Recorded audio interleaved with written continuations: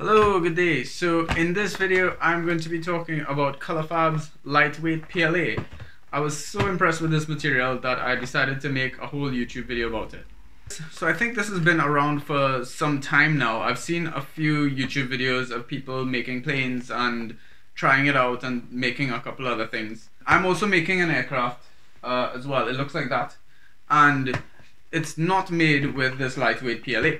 And the reason for that is because I was a bit apprehensive about buying it uh, when I when I got started. The thing is, like when you go on the tutorial website, uh, you know they're talking about like changing flow rate and changing speeds and temperatures and expanding materials, and it's it's all I think very intimidating for somebody who's a bit new to 3D printing like myself. Also, this filament is not is not cheap. This this a 750 gram spool cost me about 54 pounds. I live in the UK and whereas like a typical PLA or ABS might be around 22 20 something pounds. Um, so I didn't want to spend that kind of money on the on the filament only to realize that maybe my printer couldn't handle it or it didn't really work the way that I expected it to. So I'm making this video mostly for people who are a bit new to 3D printing and hopefully explain how this works uh, explain the calibration process in particular and how you can and explain how you can get up and running with it and uh, hopefully give you some confidence with buying the material and trying it out for yourself. So obviously the main advantage of printing in lightweight PLA is the massive reduction in density. I mean this thing you can get this down to around they say around 0.4 grams per centimeter cubed whereas PLA is around 1.24 grams per centimeter cubed uh, ABS is around 1.04 grams per centimeter cube. And the material, so for example, so I've got a wing here uh, from the, one of my aircraft. And I mean, you have to do a lot to try to get this strong. And also you need to print at roughly like, uh, uh, uh printing at one wall count um, to get this light. And you can feel it's, it's not particularly strong. Um, there's ways that you can get it stronger, but it, it is a, a bit of a challenge to try to do that. Um, whereas if you're printing in this lightweight PLA, you can print easily with two a two wall count, for example, make the material much stronger, and you don't have to and you don't have to incur any weight penalty for that. There's also a, another advantage is if you're printing in ABS, then you don't need with lightweight PLA, you don't need an enclosure and you don't need as much heat, which means and in the UK, electricity costs do are quite high. So um, if I don't have to print in that high temperature, then I'll save a bit of money and electricity as well. So let's get started. I'm first of all I'm printing on uh, my Creality Ender 3, which is is really the bottom end of the 3D printing world. Um, but this that printer never ceases to amaze me to be honest with what it can print. And for a printer that's under 250 pounds, it's it's amazing um, value for money.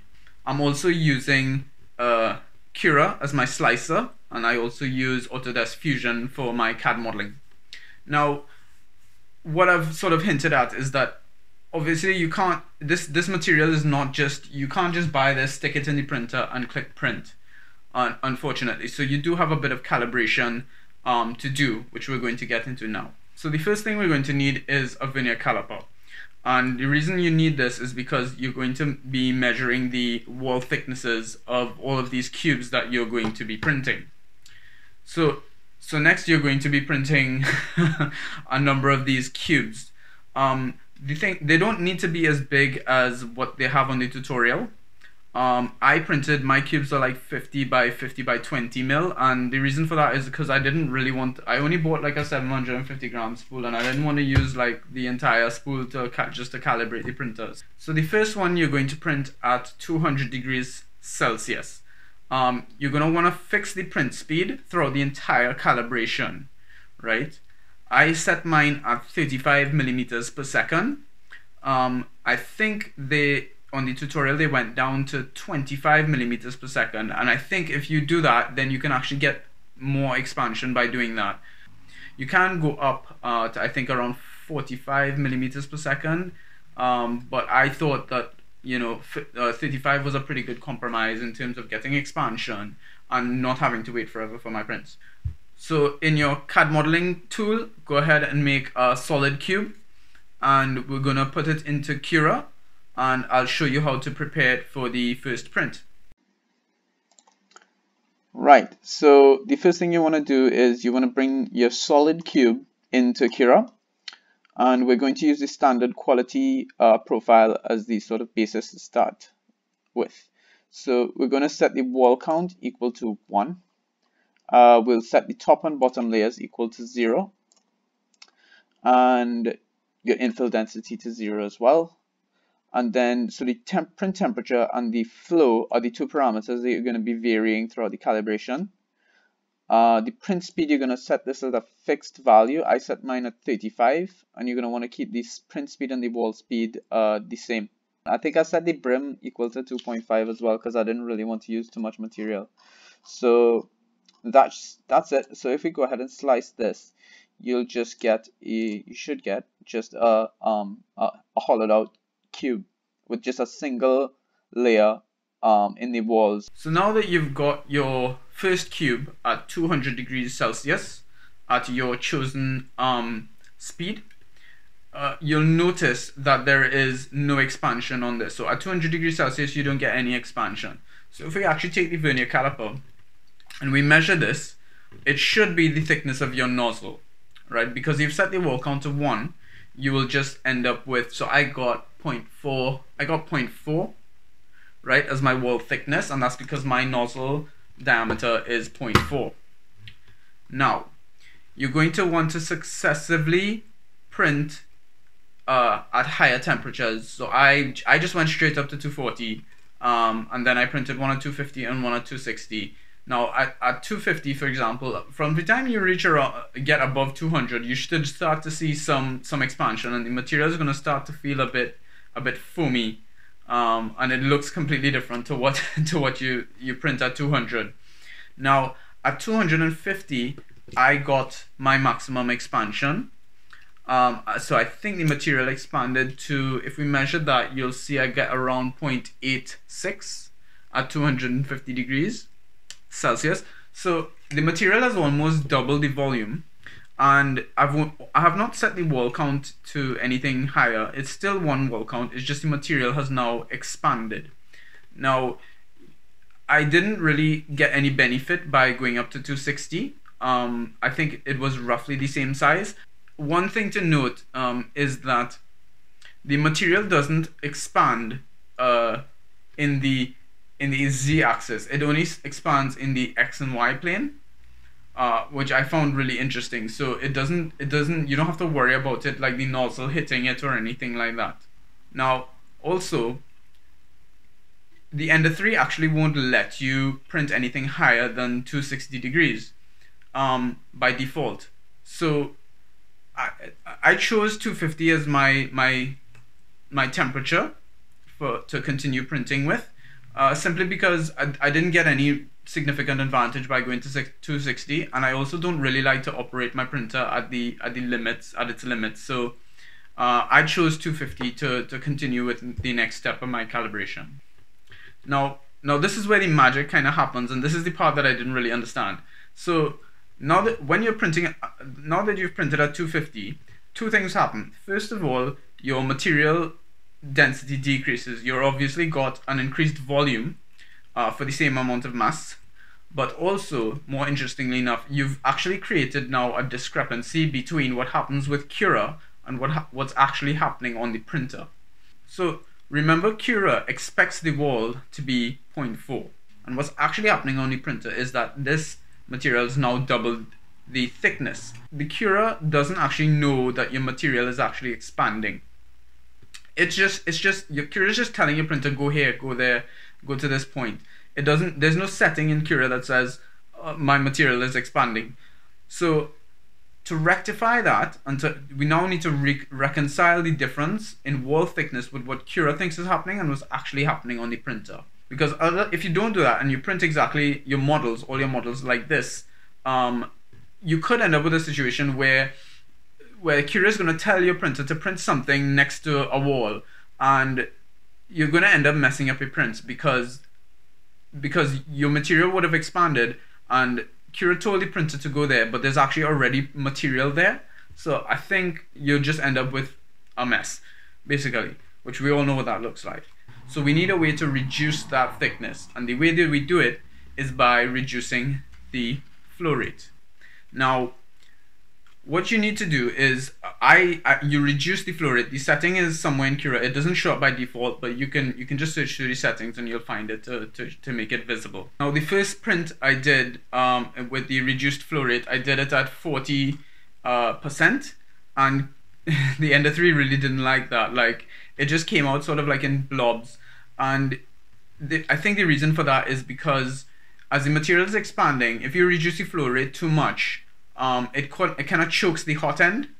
And you really you know and because of that it, the material just has a hard time coming out of the uh, coming out of the nozzle. So if that happens you really want to stop the print immediately because you could end up just choking up your your, your hot end and creating a mess or, or just or, or, or worse. So my final print settings are 250 degrees celsius at uh, with a 50% flow rate at 35 millimeters per second and that should give me a density reduction of around 50% in total, which I think is pretty is pretty good.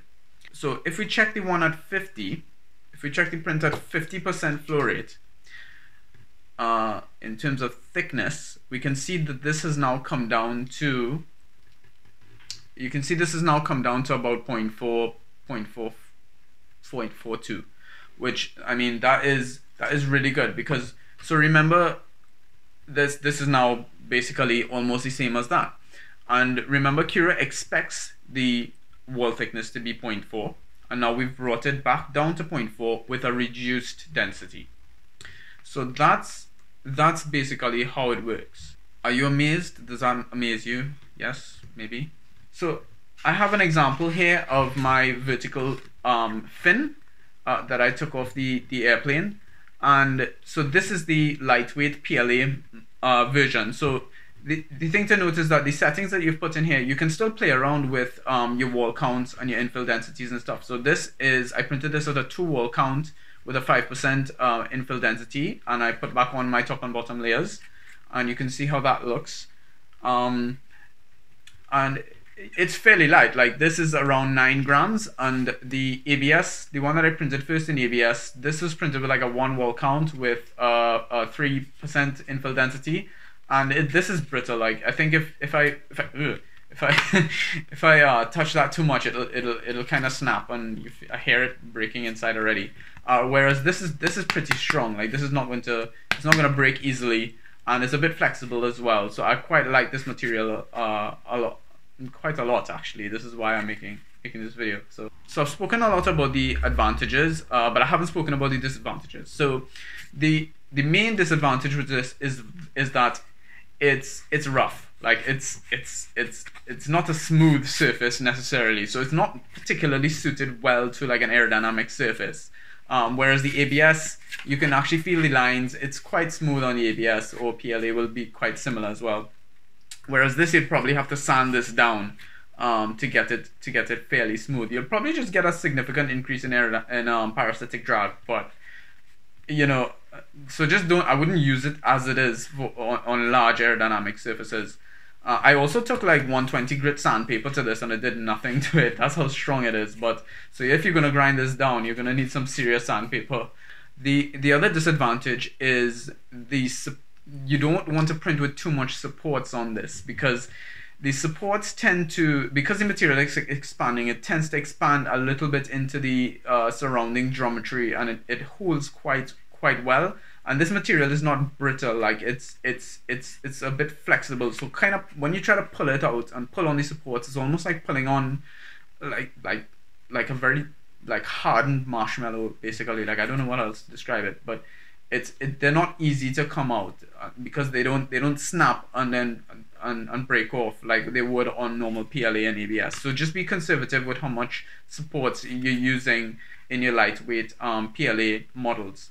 So so that's it. I hope this video was helpful to you and I hope you now have understand uh, the calibration process and it makes sense to you and it gives you a bit of confidence to go out and um, have a go at this uh, lightweight PLA.